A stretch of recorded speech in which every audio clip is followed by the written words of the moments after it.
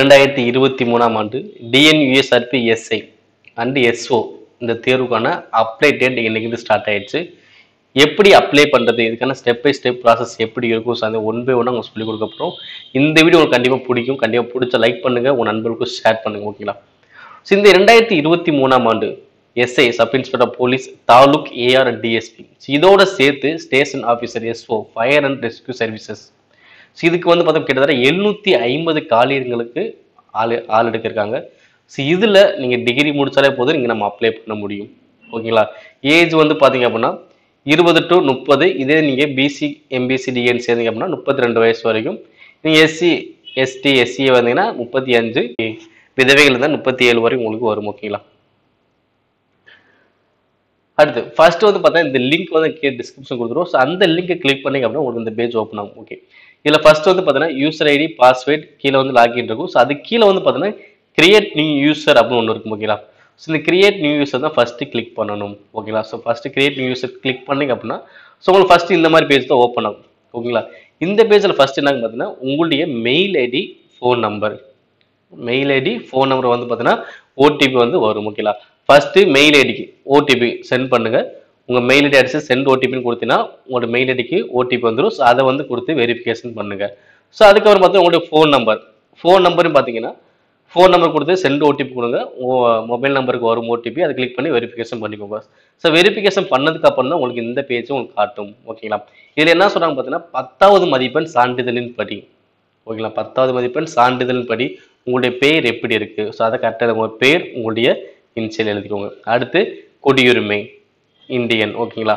So அடுத்து கடவுள் சொல் உருவாக்கு ஓகேங்களா? இது கடவுள் சொல் பாஸ்வேர்டு வந்து உருவாக்க போகிறோம் பாஸ்வேர்டு வந்து எப்படி யூஸ் பண்ணணும்னா ஒரு மேக்ஸிமம் பார்த்தீங்கன்னா அப்பர் கேஸ் யூஸ் பண்ணணும் ஸ்மால் கேஸ் யூஸ் பண்ணும் நம்பர்ஸ் யூஸ் பண்ணணும். இது மூணு மட்டும்தான் யூஸ் பண்ணும் அப்பர் கேஸ் லோயர் கேஸ் அடுத்து நம்பர்ஸ் இது மூணு மட்டும்தான் யூஸ் பண்ணணும். ஸ்பெஷல் கேரக்டர்ஸ் எதுவும் யூஸ் பண்ணக்கூடாது. ஸ்பெஷல் கேரக்டர்ஸ் அப்படின்னு பார்த்தீங்கன்னா இந்த at question mark star hash இந்த மாதிரி எதுவுமே யூஸ் பண்ணக்கூடாது ஓகேங்களா? கேப்ஸு ஸ்மாலு நம்பர் அவ்வளோதான் பாஸ்வேர்டு மினிமம் எயிட் டிஜிட் இருக்கணும். எயிட்லேருந்து டுவெல் வரைக்கும் வச்சுக்கலாம். ஓகேங்களா ஸோ கடவுசில் உருவாக்கிட்டு அதே திரும்படியும் கீழே அடிக்கும். ஓகேங்களா அப்போ கிரியேட் பாஸ்வேர்ட் பண்ணுறோம் கன்ஃபார்ம் இயர் பாஸ்வேர்ட் ரெண்டுமே ஒரே மாதிரி அடிச்சிங்கன்னா இதுதான் நம்ம லாகின் பண்ண யூஸ் பண்ண இந்த பாஸ்வேர்ட் தான் யூஸ் பண்ண போகிறோம் ஓகேங்களா ஸோ அதுக்கப்புறமா தான் கேப்ஸா ஸோ கேப்ஸா கொடுத்து சப்மிட் கொடுத்துருங்க. ஓகேங்களா நீங்கள் சப்மிட் கொடுத்தீங்க அப்படின்னா உங்களுக்கு கீழே அடுத்து என்ன வரும் பார்த்தீங்கன்னா இந்த மாதிரி உங்களுக்கு வந்துடும் கன்ஃபர்மேஷன் ஆயிரும். நியூ யூஸர் கிரியேட் ஆயிடுவீங்க உங்களுக்கு ஒரு யூசர் ஐடி வந்து உங்களுக்கு வந்துடும் ஓகேங்களா இதுதான் உங்களுடைய யூசர் ஐடி ஓகேங்களா இந்த யூசர் ஐடி வச்சுக்கோங்க. அதே மாதிரி பாஸ்வேர்ட் முன்னாடி கிரியேட் பண்ணாமா அந்த பாஸ்வேர்ட் கொடுத்து நம்ம லாகின் பண்ணணும். ஓகேங்களா சார் இப்போ கீழே வந்தால் தெரியும். Sir please click here to login இருக்கும் ஸோ கிளிக் பண்ண உங்களுக்கு இந்த பேஜ் வந்துடும் இதில் உங்களோட user ID USRB zero zero இந்த மாதிரி நம்பர் சொல்லலாம். அது கொடுத்துட்டு பாஸ்வேர்ட் இப்போ நீங்கள் கிரியேட் பண்ணீங்களா கேப்ஸ் ஸ்மால் நம்பர்ஸ் இதை நீங்கள் பாஸ்வேர்டு வச்சுருப்பீங்க. அந்த பாஸ்வேர்டை கொடுத்து லாகின் பண்ணுங்கள் ஓகேங்களா ஸோ லாகின் பண்ணிங்கன்னா ஏப்ரலில் அப்ளை பண்ண சொல்லி நிறைய டீட்டெயில்ஸ் இருக்கும். ஸோ அது கீழே வந்து பார்த்தீங்கன்னா டிக்ளரேஷன் கீழே இந்த மாதிரி டிக் அடிக்கிற மாதிரி இருக்கும் ஓகேங்களா ஸோ டிக் அடிச்சுட்டு கண்டினியூ கொடுங்க. ஸோ கண்டினியூ கொடுத்தோன்னே உங்களுக்கு பார்த்தீங்கன்னா இப்படி தான் பேஜ் ஓப்பன் ஆகும். இது எத்தனை பாருங்க ஃபஸ்ட்டு உங்களுடைய பர்சனல் டீட்டெயில்ஸ் அடுத்து அகடமிக் டீட்டெயில்ஸ் அடுத்து ஒர்க் எக்ஸ்பீரியன்ஸ் அடுத்து அடிஷனல் டீட்டெயில்ஸ் அடுத்து உங்களுடைய ஃபோட்டோ உங்களுடைய சைன் அடுத்து quota age relaxation special marks அந்த இது அடுத்து அப்லோட் டாக்குமெண்ட் அடுத்து ப்ரிவ்யூ ஓகேவா? கிட்டத்தட்ட ஒன்பது இருக்கு. So முடிஞ்சதுக்கு அப்புறம் தான் பேமெண்ட் ஒன்று போகும். அப்போ பத்தாவது என்னது? Payment okay. First personal details என்னென்ன இருக்கும்? ஓகேங்களா இதில் வந்து பார்த்தா நீங்கள் முன்னாடியே கொடுத்த மாதிரி உங்களுடைய பேர் வந்து இங்கே வந்துடும் பேர் வந்துடும் உங்களுடைய குடியுரிமை எல்லாம் வந்துடும் ஸோ அதே மாதிரி பார்த்தீங்கன்னா உங்களுடைய பேரை வந்து பார்த்தீங்கன்னா கெசட்லேருந்து மாற்றிருக்கீங்களா ஸோ மாற்றிருந்ததுன்னா எஸ்ன்னு கொடுத்து கொடுக்குற மாதிரி இருக்கும். அப்படி இல்லைன்னா கொடுக்க தேவை கிடையாது. ஓகேங்களா? ஸோ அடுத்து வந்து பார்த்தீங்கன்னா உங்களுடைய பிறந்த தேதி. உங்கள் பிறந்த தேதி வந்து பார்த்தீங்கன்னா பக்கத்தில் இந்த மாதிரி கேலண்டர் மாதிரி இருக்கும். ஸோ அதை கிளிக் பண்ணி நீங்கள் உங்களுடைய டேட்டா ஆஃப் பர்த்தை கொடுத்துக்கோங்க. ஓகே அடுத்து உங்களுடைய பாலினம். ஓகேவா ஸோ அடுத்து உங்களுடைய திருமண நிலை. இரு திருமணம் முடிஞ்சா முடியல. மேரிட் அன்மேரிட் ஓகேங்களா ஸோ அது கீழே வந்து பார்த்தீங்கன்னா உங்களுடைய அங்கமச்ச அடையாளங்கள். அங்கமச்ச அடையாளங்கள் ஒன்று இரண்டு. இது வந்து ரெண்டுக்குமே நீங்கள் கொடுத்துக்கோங்க. ஸோ அடுத்து உங்களுடைய தந்தை பெயர். பெயர் போடுங்க. அங்கே இன்சியல் அதே மாதிரி உங்களுக்கு தாயார் பெயர் இன்சியல் அடுத்து மின்னஞ்சல் முறை ஆல்ரெடி அங்கே இருக்கும். ஃபோன் நம்பர் ஆல்ரெடி அதிலே இருக்கும். ஏன்னா முன்னாடியே கொடுத்துட்டோம்ல அதனால் ரெண்டுமே வந்துடும் ஸோ அடுத்து ரிலிஜியன் உங்களுடைய மதம். இது கிளிக் உங்களுடைய ஹிந்து முஸ்லீம் கிறிஸ்டின் இதெல்லாம் நீ கொடுத்துக்கலாம். ஸோ அடுத்து வந்து பார்த்தீங்கன்னா தமிழ்நாடு அரசால் வழங்கப்பட்ட சாதி சான்றிதழ் பெற்றுள்ளையா? தமிழ்நாடு அரசு வழங்கப்பட்ட சாதி சான்றிதழ் பெற்றுள்ளேரா அப்படின்னு கேட்டிருப்பாங்க. அதுக்கு எஸ் ஆர் நோ ஓகேவா மேக்ஸிமம் எல்லாருமே வச்சிருப்போம் ஓகேலா அப்போ எஸ் கொடுத்துட்டு இங்கே கீழே வந்து உங்களுடைய கம்யூனிட்டியை கிளிக் பண்ணுங்க. கிளிக் பண்ணோன்னே பார்த்தீங்கன்னா இது மட்டும் உங்களுக்கு ஓப்பன் ஆகும். ஓகேங்களா? ஏன்னா ஃபர்ஸ்ட் இது ஓப்பன் ஆயிருக்காது. இங்கே நம்ம கம்யூனிட்டி கிளிக் பண்ணும்போது தான் இங்கே வந்து ஓப்பன் ஆகும். அப்போ உங்களுடைய கேஷ் அதாவது சாதி உட்பிரிவு என்னது? அந்த சாதி சான்றிதழோட சான்றிதழ் எண் என்னது? அந்த அந்த சான்றிதழ் வந்து வழங்கிய அதிகாரின் பதவி என்னது? இது உங்களுக்கு எந்த இடத்துல வழங்கினாங்க? அந்த சான்றிதழ் எந்த தேதியில் உங்களுக்கு கொடுத்தாங்க? இது அனைத்தையுமே நீங்கள் ஃபில் பண்ணணும். ஓகேங்களா? ஸோ அதுக்கப்புறம் நம்மளுடைய அட்ரஸ் ஓகேங்களா? ஸோ அட்ரஸ் கொடுக்குறோம். அடுத்து வந்து பார்த்தீங்கன்னா உங்களுடைய ஸ்டேட் அடுத்து உங்களுடைய மாவட்டம் அடுத்து பின்கோடு அடுத்து உங்கள் ஏரியா அதாவது இப்போ எங்கே இருக்கீங்களோ உங்களுக்கு பக்கத்தில் உள்ள ஸ்டேஷன் போலீஸ் ஸ்டேஷன் வந்து கிளிக் பண்ணணும் ஓகேங்களா நீங்கள் இதெல்லாம் பின்கோடு எல்லாம் கொடுக்கும்போது அதுவே உங்களுக்கு மேக்ஸிமம் வந்துடும் ஸோ அதை பொறுத்து நீங்கள் வேகமாக கிளிக் பண்ணிக்கலாம். ஸோ அதுக்கப்புறம் பார்த்தீங்கன்னா கீழே தொடர்பு முகவரி அட்ரஸ் ஃபார் கம்யூனிகேஷன் சார் மேலே உள்ளதா சார் பெர்மனன்ட் அட்ரஸ் எனக்கு இது அப்படின்னா இங்கே சேம் அஸ் பெர்மனன்ட் இருக்கு பார்த்தீங்களா? அது கிளிக் பண்ணிங்க அப்படின்னா அதே அட்ரஸ் இங்கேயும் எடுத்துக்கும். இல்லை சார் இங்கே இருக்க அட்ரஸ் வேறு பெர்மனன்ட் அட்ரஸ் வேறு அப்படின்னா ஸோ பெர்மனன்ட் அட்ரஸ் ஒன்று கொடுங்க. இப்போ இருக்க அட்ரஸ் வந்து இப்போ கொடுத்துக்கலாம். ஓகேங்களா ரெண்டுமே ஒன்றுனா இங்கே சேம் அஸ் கொடுத்துக்கலாம். ஸோ இது முடிச்சதுக்கப்புறம் பார்த்தீங்க அப்படின்னா ஸோ கல்வி மற்றும் விளையாட்டு அல்லாத செயற்பாடுகள். இது கல்வி அதே விளையாட்டு அல்லாத செயற்பாடு ஏதாவது இருந்துச்சு அப்படின்னா நீங்கள் வந்து கொடுங்க. அப்படி இல்லைன்னா இல்லைன்னு கொடுத்துருங்க. ஓகேங்களா நோ அது மாதிரி இது கொடுத்துருங்க. ஸோ அடுத்து வந்து பார்த்தீங்கன்னா சாரணர் சாரணைக்கான ஜனாதிபதி விருது வாங்கியிருக்கீங்களா? இருந்தால் எஸ் இல்லைன்னா நோ அடுத்து எழுத்து தேர்வுக்கான மாவட்டம் நம்ம செலக்ட் பண்ணணும். எந்த மாவட்டத்தை நம்ம எழுதணும்னு சொல்லிட்டு இங்கே நம்ம செலக்ட் பண்ணணும். ஓகேங்களா அடுத்து முன்னுரிமை. முன்னுரிமை வந்து பார்த்தீங்கன்னா ஸோ நீங்கள் வந்து உங்களுடைய ஏஜ் வந்து பார்த்தீங்கன்னா அப்போ கரெக்டாக இருந்தால் மட்டும்தான் உங்களுக்கு வந்து முன்னுரிமை காட்டும். ஓகே இப்போ உங்களுக்கு முப்பத்தி ரெண்டு இப்போ பிசிஆர் முப்பத்தி ரெண்டு வயசுக்கு மேலே ஆகிட்டுன்னா உங்களுக்கு முன்னுரிமை காட்டாது. ஓகேங்களா எஸ்சிஆருக்கு முப்பத்தஞ்சு வயசுக்கு மேலேனா முன்னுரிமை காட்டாது. அங்கே எங்கே வயசு அதிகமாக எங்கே முன்னுரிமை கேட்பாங்க பார்த்தீங்கன்னா எக்ஸ் சர்வீஸ்மேன் இருக்கீங்களா இல்லை போலீஸ் டிபார்ட்மெண்ட் இருக்கீங்களா இல்லை ஃபயர் டிபார்ட்மெண்ட் இருக்கீங்களா அந்த மாதிரி காட்டும். சரி கரெக்டான ஏஜுக்குள்ளே இருந்தீங்கன்னா உங்களுக்கு இது மட்டும் தான் காட்டும் ஓகேங்களா இதில் ஃபஸ்ட்டு போலீஸு அடுத்து ஃபயர் ரெஸ்க்யூ ரெஸ்க்யூ ஏதாவது நீங்கள் மாற்றி ரெண்டு இருக்கும் ரெண்டு ஏதாவது மாற்றி நீங்கள் கொடுத்துக்கலாம். ஓகே முன்னுரிமை வந்து கண்டிப்பாக கொடுத்துக்கோங்க. ஏன்னா அங்கே ஸ்டார் கொடுத்துட்டா கண்டிப்பாக நம்ம கொடுத்து தான் ஆகணும் இல்லை சார் ப்ரிஃபரன்ஸ் கொடுத்தீங்கன்னா நில்லுன்னு ஒரு ஆப்ஷன் இருக்கும். அதை நீ கிளிக் பண்ணிக்கலாம். ஸோ அது சேவ் அண்ட் கண்டினியூ கொடுத்ததுக்கப்புறம் பார்த்தீங்கன்னா கீழே வந்து பார்த்தீங்கன்னா நம்முடைய அகாடமிக் டீட்டெயில்ஸ் ஸோ அண்டர் கிராஜுவேட்டா போஸ்ட் கிராஜுவேட்டா ஓகே இளங்கலையா முதுகலையா பார்த்து ஃபஸ்ட் கிளிக் பண்ணிடணும். ஸோ நம்ம இளங்கலைனா இளங்கலையும் கொடுத்துட்டு கொடுக்க ஆரம்பிச்சிடலாம். ஓகே டென்த்து உங்களுடைய பதிவு எண். எந்த ஸ்கூலில் படிச்சிருக்கேன் ஸோ அதுக்கப்புறம் பார்த்தீங்கன்னா தேர்ச்சி பெற்ற வருடம். இது வந்து நம்ம காலண்டர் கிளிக் பண்ணி தேர்ச்சி பெற்ற வருடம் அதை கிளிக் பண்ணிக்கலாம். அடுத்து எந்த தேர்வு குழுமம் பல்கலைக்கழகம் சொல்லுவாங்களா தேர்வு ஸ்டேட் போர்டு இல்லை செகண்ட் எஜுகேஷன் அந்த மாதிரி கிளிக் பண்ணுற மாதிரி இருக்கும். அடுத்து மதிப்பெண் சான்றிதழ் வழங்கப்பட்ட நாள். ஓகே அடுத்து தேர்ச்சி பெற எத்தனை முறை முயற்சித்தீர்கள்? நான் வந்து பார்த்தீங்கன்னா எப்பயும் போல படிக்கும்போது பாஸ் பண்ணிட்டேன் அப்படின்னா ஜீரோ தான். அதாவது இங்கே கீழே போட்டிருப்பாங்க. தேர்ச்சி பெற எத்தனை முறை முயற்சி என்ற பகுதியில் முதல் முறையில் தேர்ச்சி பெற்றிருந்தால் ஜீரோ என்பதை தெரிவு செய்யவும். முதல் முறையிலே தேர்ச்சி பெற்றிருந்தால் ஜீரோ நான் ஃபர்ஸ்ட் ஏதாவது ஃபர்ஸ்ட் டைம் ஒரு ஃபெயிலே ஒன்று எழுதுனா ஒன்று ரெண்டு டைம் எழுதுனா ரெண்டு. அது மாதிரி ஓகேங்களா? அடுத்து டுவெல்த்து ஐடிஐ ஸோ இது இருந்துச்சுன்னா நீங்கள் கொடுக்குற மாதிரி அதே தங்கி ஸோ அதுக்கப்புறம் நீங்கள் டிப்ளமோ முடிச்சா டிப்ளமோ இல்லை சார் டிப்ளமோ முடிக்காமல் டிகிரி பிரச்சனை டிகிரி கொடுத்துருங்க. ஸோ அதுக்கப்புறம் போஸ்ட் கிராஜுவேட் முடிக்கணும் ஒன்றும் பிரச்சனை இல்லை. ஓகேவா நாங்கள் போஸ்ட் கிராஜுவேட் கிளிக் பண்ணாலும் போஸ்ட் கிராஜுவேட் காட்டுது. இப்போ நீங்கள் அண்டர் கிராஜுவேட்னா அண்டர் கிராஜுவேட் ஓகேங்களா? ஸோ அதுக்கப்புறம் கீழே கேட்டிருப்பாங்க. பத்தாம் வகுப்பில் தமிழில் ஒரு பாடமாக பயின்றுள்ளீரா அப்படின்னு கேட்டிருப்பாங்க. ஸோ ஆமாம் ஆமான்னா ஆமான்னு கொடுங்க இல்லைன்னா இல்லைன்னு கொடுங்க. ஓகே அடுத்து நீதி.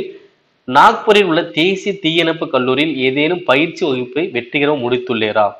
ஸோ இந்த கொஸ்டின் கேட்டாங்க. இந்த கொஸ்டின் வந்து பார்த்தீங்கன்னா நீங்கள் இருந்துச்சு அப்படின்னா அமௌண்ட் கொடுங்க இல்லைன்னா இல்லைன்னு கொடுத்துக்கோங்க. ஓகே இதுக்கப்புறம் பார்த்தீங்கன்னா எல்லாத்தையும் கொடுத்து முடிச்சு சேவன் கண்டினியூ கொடுத்துக்கோங்க. ஸோ நம்ம எல்லாமே கொடுத்தா தான் நமக்கு சேவன் கண்டினியூ வந்து அடுத்து அடுத்த பேஜுக்கு ஓப்பன் ஆகும். ஓகே அடுத்த பேஜில் வந்து பார்த்தீங்கன்னா என்ன கேட்டேன் பாரு? ஏதேனும் பணி புரிகின்றனர் நீங்கள் வந்து ஏதாவது வேலை பார்க்க ஒர்க் எக்ஸ்பீரியன்ஸ்க்காக கேட்குறாங்க ஸோ அப்போ நீங்கள் வந்து ஒர்க் பண்ணல அப்படின்னா நோன் கொடுங்க. இல்லை ப்ரைவேட்டாக வேலை பார்க்குறேன் இல்லை பப்ளிக் செக்டர் வேலை பார்க்குறேன்னா எஸ் கொடுத்துட்டு கீழே வந்து காட்டு. கவர்மெண்ட்டாக பப்ளிக் செக்டராக ப்ரைவேட்டாக ஆகட்டும். ஸோ நீ ப்ரைவேட் ஏதோ ஒன்று கொடுத்தனாலும் ஸோ அதுக்கான டீட்டெயில்ஸ் கேட்கும் என்ன பதவி என்ன டிபார்ட்மெண்ட்லாம் கேட்கும் ஓகேங்களா? ஸோ நாங்கள் வந்து நான் பார்த்தீங்கன்னா சும்மா எஸ் தான் கொடுத்து வச்சேன். அப்போ தான் கீழே ஆப்ஷன் காட்டுன்னு சொல்லிட்டு ஓகேங்களா? ஓகே அப்போ நோன்னா நோன் கொடுத்துட்டீங்கன்னா கீழே நீங்கள் எதுவுமே செலக்ட் பண்ண தேவை கிடையாது. நீங்கள் சேவன் கண்டினியூ கொடுத்துக்கலாம். ஓகே அடுத்து. அப்போ ஒர்க் எக்ஸ்பீரியன்ஸ் முடிஞ்சு அடுத்து வந்து பார்த்தீங்கன்னா அடிஷனல் டீடைல்ஸ் அடிஷனல் டீடைல்ஸ் என்ன கேட்குறாங்க பார்த்தீங்கன்னா உங்கள் மீது ஏதேனும் குற்ற வழக்கு பதிவு செய்யப்பட்டுள்ளதா? அப்படின்னு கேட்பாங்க. ஸோ இருந்துச்சு அப்படின்னா இருக்குன்னு போடுங்க. இல்லைன்னா இல்லைன்னு போடுங்கன்னா இதெல்லாம் வெரிஃபிகேஷன் செக் பண்ணுவாங்க. ஓகேங்களா ஸோ அடுத்து சேவன் கண்டினியூ கொடுத்துருங்க அடுத்து வந்து உங்களுடைய ஃபோட்டோ ஸோ உங்களுடைய ஃபோட்டோ வந்து பார்த்தீங்கன்னா ஸோ நீங்கள் ஃபோட்டோ வந்து சேவ் பண்ணுவீங்களா? அதோட ஃபைல் நேம் வந்து பார்த்தீங்கன்னா கண்டினியூஸாக இருக்க மாதிரி பார்த்துக்கோங்க. ஓகேங்களா? அதில் ஸ்பெஷல் கேட் எடுத்து யூஸ் பண்ணாதீங்க ஓகேங்களா? ஏன்னா அது மாதிரி இருந்தாலும் அங்கே அப்லோட் ஆகுது ஓகேங்களா? இப்போ ஃபோட்டோனா ஃபோட்டோ மட்டும் போட்டு அப்லோட் பண்ணிடுங்க ஓகே சைஸ் வந்து பார்த்தீங்கன்னா பதினொன்று கேபி டு முப்பது கேபிக்குள்ளே தான் இருக்கணும். அதை தாண்டி போனால் கண்டிப்பாக அலோவ் அலோவ் பண்ணாது. அதனால் பதினொன்று டு முப்பத்தொரு முப்பது கேபிக்குள்ளே தான் இருக்கணும். ஃபைல் நேம் ஃபோட்டோனே போட்டு சேவ் பண்ணி அப்லோட் பண்ணிடுங்க அப்லோட் பண்ணிட்டீங்க அப்படின்னா உங்கள் ஃபோட்டோ இந்த சைடு வந்துடும் ஓகேங்களா? ஸோ அப்படி கண்டினியூ கொடுங்க. ஸோ ஃபோட்டோ அது அப்லோட் பண்ணதுக்கப்புறம் உங்களுடைய சைன் அதே மாதிரி இங்கேயும் பார்த்தீங்கன்னா சைன் நேம் ஃபைல் நேம் வச்சுக்கோங்க. இது வந்து பார்த்தீங்கன்னா ஐந்து கேபி டு பத்து கேபிக்குள்ளே தான் இருக்கணும். ஓகேங்களா? இதை வந்து சூஸ் ஃபைல் கொடுத்து சைன் கொடுத்து ஏற்றி வச்சுக்கோங்க. அப்லோட் கொடுத்தீங்கன்னா உங்கள் சைனுக்கு வந்துடும் ஓகேங்களா? ஸோ அடுத்து கண்டினியூ கொடுத்துருங்க. அடுத்து வந்து பார்த்தீங்கன்னா quota age relaxation special marks இது மாதிரி உங்களுக்கு தேவைப்படுது அப்படின்னா நம்ம இங்கே டீட்டெயில்ஸ் கொடுக்குற மாதிரி இருக்கும். அதே மாதிரி பார்த்தீங்கன்னா வாரிசுக்கான இடஒதுக்கீடை பயன்பெற விரும்புகிறீர்களா? இருக்கு அப்படின்னா இருக்குன்னு போடுங்க இல்லைன்னா இல்லைன்னு போட்டுருங்க. அதே மாதிரி விளையாட்டுக்கான இடஒதுக்கீடு பயன்பெற விரும்புகிறீங்களா சரி நீங்கள் ஸ்போர்ட்ஸ் இருந்தீங்கன்னா அது கொடுங்க இல்லைன்னா இல்லைன்னு கொடுங்க அதே மாதிரி எக்ஸ் சர்வீஸ் மேனா அப்போ இருந்தால் இருக்குன்னு போடுங்க இல்லைன்னா இல்லைன்னு போட்டுருங்க.